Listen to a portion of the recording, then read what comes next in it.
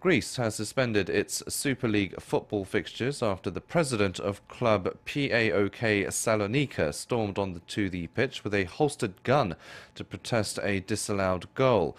Ivan Savvidis, accompanied by his bodyguards, confronted the referee in Sunday's match against AEK Athens with what appeared to be a handgun strapped to his waist.